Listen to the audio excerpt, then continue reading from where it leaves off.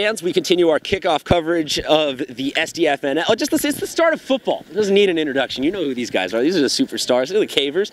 After an undefeated season and a CIF Finals appearance last year, they're starting off with a W at the scrimmage. You want to introduce, introduce yourself to those who've been sleeping? My name is Jayden Wickware, and I play safety and running back.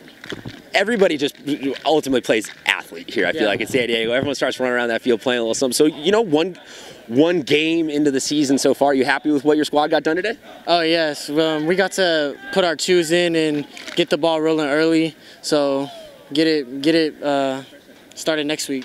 So last year, well, let's just let's just say you guys burst onto the scene last year. I mean, you changed the culture. You took a school that had been down a little bit and you brought it back. Yeah.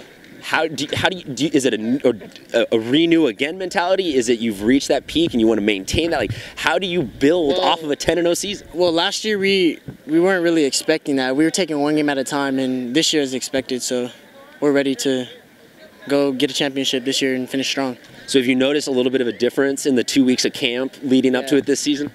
Yeah, um, it took a toll on us because we had to prepare quicker, and we only had gear for a week. So the scrimmages came quick. Only had gear for a week. They still got a dub at the scrimmages. Looks like you guys might be geared up for something.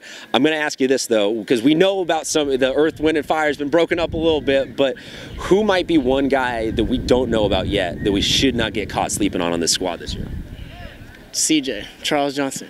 Okay, okay, he's behind. He's behind the camera. We'll get to meet him in a second, man. Thank you so much for being on with us. Can you ask me uh, Yeah, yeah. about what game I want to see? Okay, yeah, two things. Do you own a shirt, and what game do you want to play? what game do you want to play this season? Uh, I don't own a shirt. Right, I like I like to keep my clothes off. Dude, I'd, I'd love to have that breeze right now. the game I'm looking forward to is Lincoln. Tap in. I'm ready.